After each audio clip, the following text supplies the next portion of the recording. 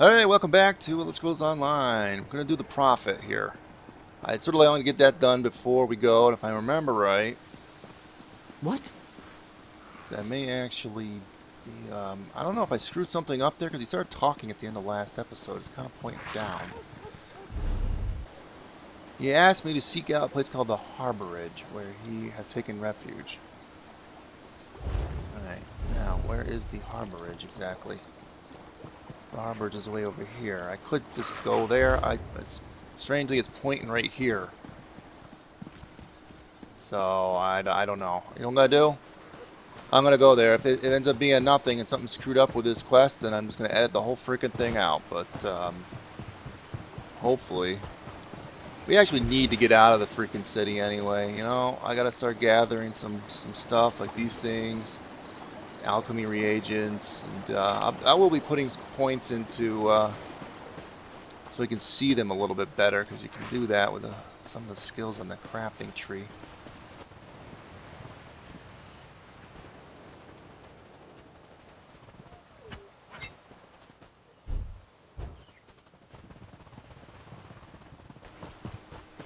Things already got me uh, wasting my time up too much here. I didn't really want to do... I think this is going to take you someplace. Um, if this works. Yeah, these torch bugs and, the, and the, the butterflies you see around will give you insect parts which are for fishing. Um, in case you're wondering.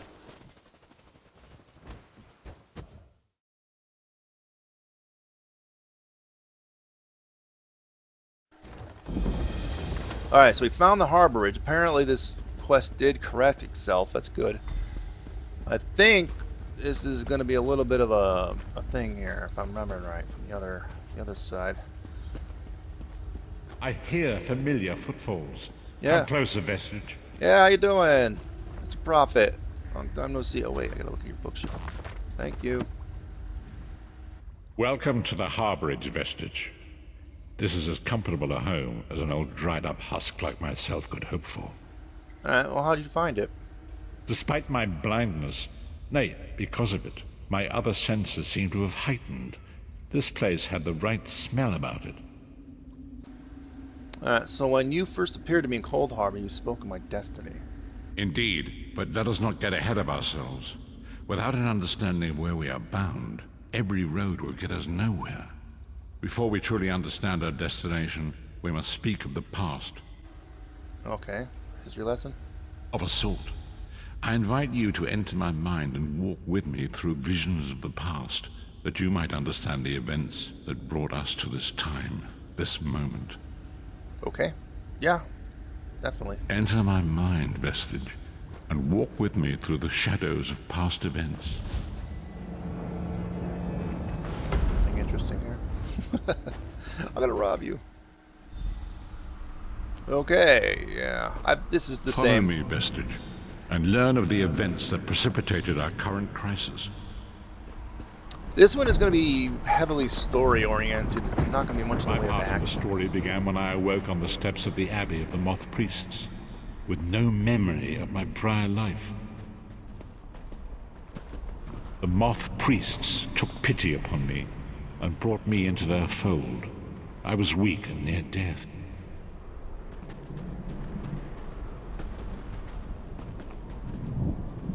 It was there I first set eyes upon the Elder Scrolls and devoted my life to their study.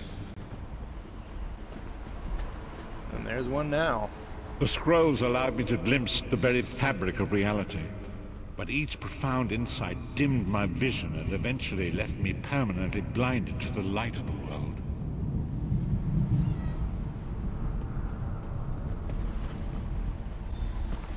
Alright, so. The prophecies of the Elder Scrolls are a fluid, living thing. They are not fixed. At many points throughout history, the actions of heroic mortals have rewritten them. Really? Well, you know, before I go on, I do remember hearing something about this statement, and specifically the Elder Scrolls that. See, now the events of the Elder Scrolls Online take place before the previous Elder Scrolls game, and actually there's a lot of people that are big into lore. And I've watched some of those lore videos, some Shoddy Cast and other, and other places that they're implying that a lot of the stuff that happens in here really is not. It's, it's, they're wondering whether it's considered to be canon or not, or whether this is really happening because a lot of it doesn't measure up with some of the timelines and stuff of the Elder Scrolls game that everyone else seems to be familiar with, like Elder Scrolls 3, 4, 5, and that kind of thing. The, the, the storylines and the books and the lore from that. So, what he's saying here is important because the Elder Scrolls is saying history is kind of fluid, and so some of the, some of the events that happen here during this time period that we're involved in, it's like it's kind of making it so that it's okay that we we're we're affecting things in the timeline of the Elder Scrolls universe. Is what I'm saying. So just to put that in perspective for some of you people, maybe. I mean, I would suggest if you want to know more about Elder Scrolls lore, to you know look it up on the internet. There's there's a lot of sites out there that, that tackle that, as well as the the YouTube channel Shoddycast, I think it is. So I I've watched a lot of their Elder Scrolls related videos, and it was pretty good. I mean, a lot of them helped me understand some of the stuff that's going on without having to go back and read hundreds and hundreds of books and stuff. So sorry for you know dragging this out, but um, sometimes I have to. I feel like I have to give you guys a bit, a couple bits and tidbits of information for those of you that don't know about this stuff. But most of you probably already know, and you're telling me just get get on with it already. All right, fine. Said, well, okay. What does this have to do with me? I only know that you are important, Vestige. The scrolls reveal to me that your destiny is intertwined with that of the Five Companions. All right. So who are the Five Companions? The Five Companions were a band of adventurers who sought out an ancient artifact called the Amulet of Kings.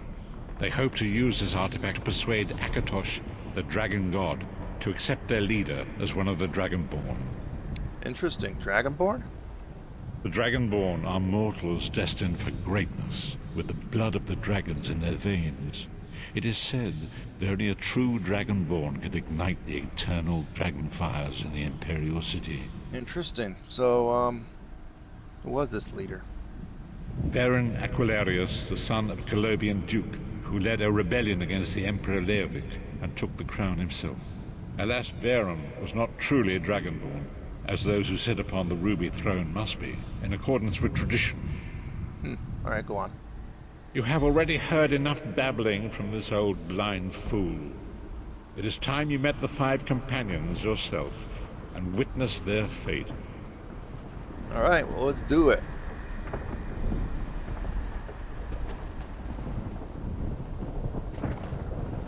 The first companion, Lyris Titanborn, daughter of giants, was the mightiest warrior in the service of the Emperor. Next, Abnur Tharn, a powerful sorcerer and Grand Chancellor to the Imperial Elder Council.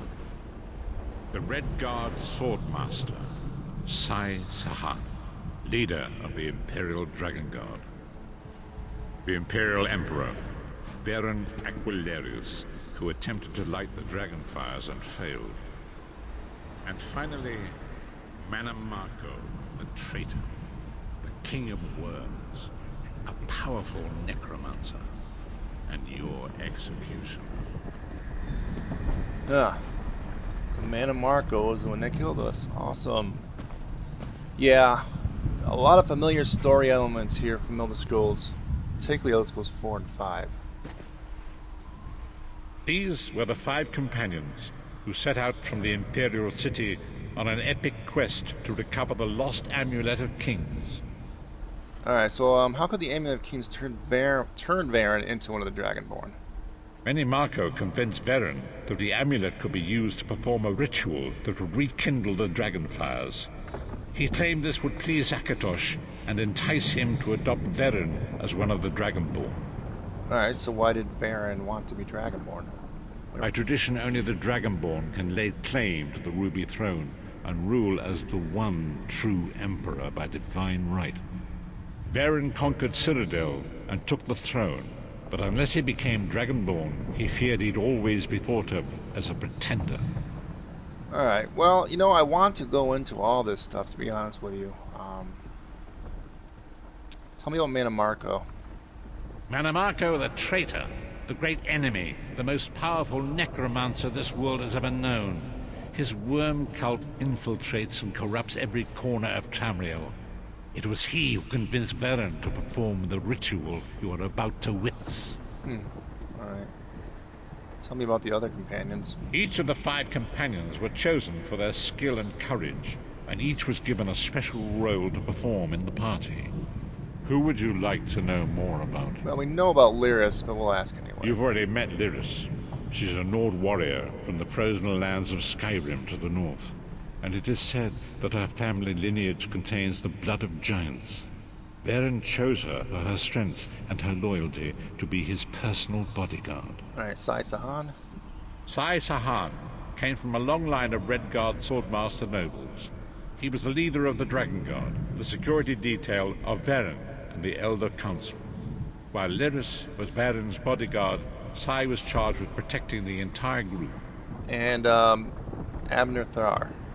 The Tharns are one of the most influential families in Cyrodiil.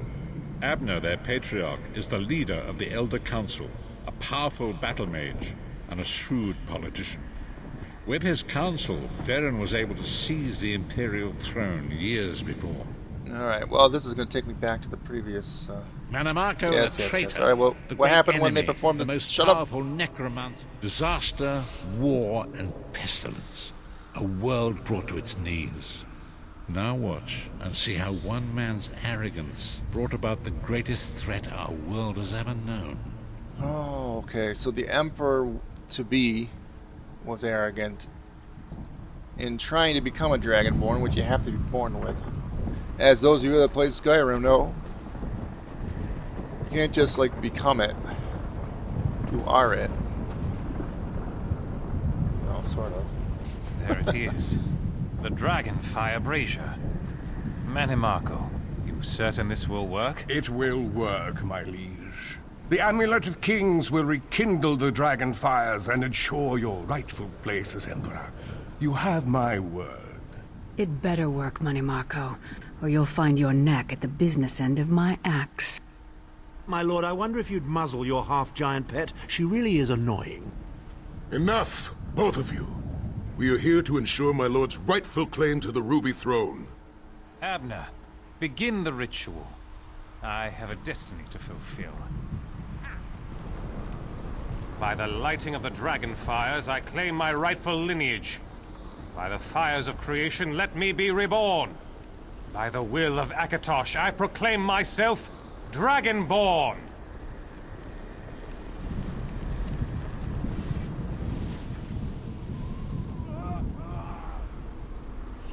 Varen Aquilarius, you are no heir to Alessia. You will pay for your sacrilege. The veil between Tamriel and Oblivion tears and splits asunder. What's happening? The sky is opening up. This is bad. This is very bad. Ah! This, this isn't supposed to happen.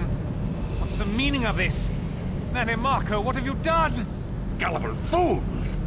The veil between Oblivion and this world has been torn. My master, Molag Bal, is free to claim Tamriel for his own. Akatosh, forgive me! Have mercy on our souls!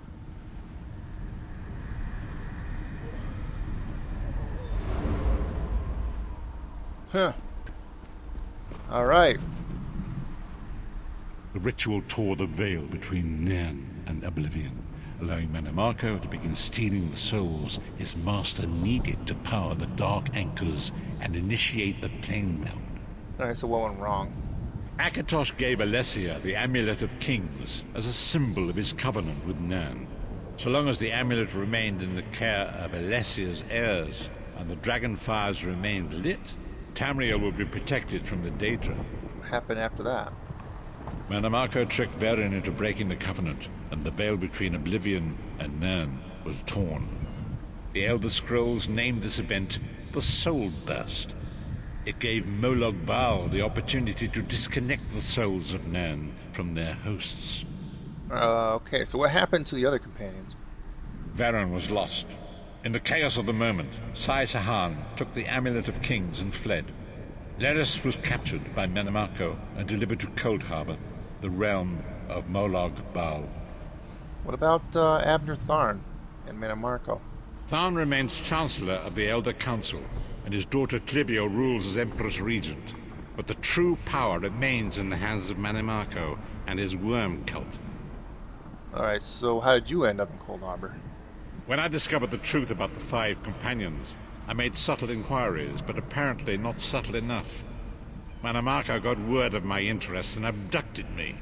He took me to Coldharbour, where I remained a prisoner until you freed me. Alright, so uh, they saw you as a threat then. The truth is always a threat to evil men. Mannimarco feared I would reveal his treachery, and if knowledge of Nirn's vulnerability were to become known, it could threaten his master's schemes. Molag Bal does not favor loose ends. Walk with me. Alright. I have a choice? Don't really. What a lovely Long place. ago was written, so long as the Amulet of Kings was borne by Alessia's heirs, Tamriel would be protected from the forces of oblivion. But the soul burst tore the veil between worlds and gave Molag Bal the opportunity he desired. Molag Bal's dark anchors pierce the torn veil and seek to draw Nirn into the depths of Coldharbour. These terrible engines of destruction have been appearing all throughout Tamriel.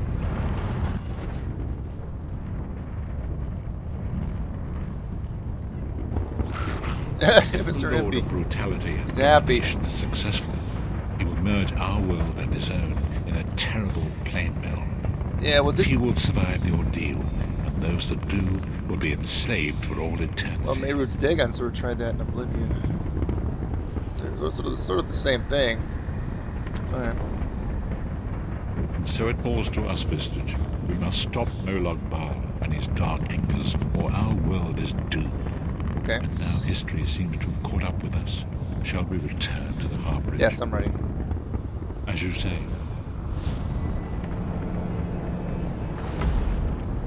Mr. Impy. No. I no. Hey, Impy, he came with us. That's good. You were a nice guy. You brought Mr. Impy with us too. And so it begins. The remainder of the story has yet to be written. It is your story now. All right. Well, you give me a lot to think about. And there is so much to do. But know this you will not walk this path alone. So, what's our next move? We must grow in strength and in numbers. You will need more than the company of an old blind man to alter the course of history. We must assemble our own group of companions. The first you have already met. Yeah, Lyris. Lyris sacrificed her own freedom to allow us to escape. She remains a prisoner in Coldharbour. I must determine her precise location if we are to mount a rescue. That will take time. So, what should I do in the meantime? Mannimarco's agents leave a web of lies and deceit. They pit the races of Tamriel against one another and divert their attention from the real threat. Seek out these agents, wherever they can be found, and expose their lies. Do what I can. Forgive me. Bringing you to my mind seems to have taken quite a toll on me. I must rest. I will contact you when the time is right. Until then, walk in the light, Vestige. Yes. Awesome. All right. Well, I, let's see. Let's check this out, baby. First ring. Get that on. And a skill point. Mm, All right. Let's see here. All right. Let's see here. We we want to put in. Mm, manifest yourself as lightning to gain major resolve and increase your armor and spell resistance. That's interesting. You could just evolve this one. What would that give us? You have two choices here. I'm going to read the green stuff here. The green text. New effect would be explosion deals more damage. Or the killing blows restore magicka. Both very good.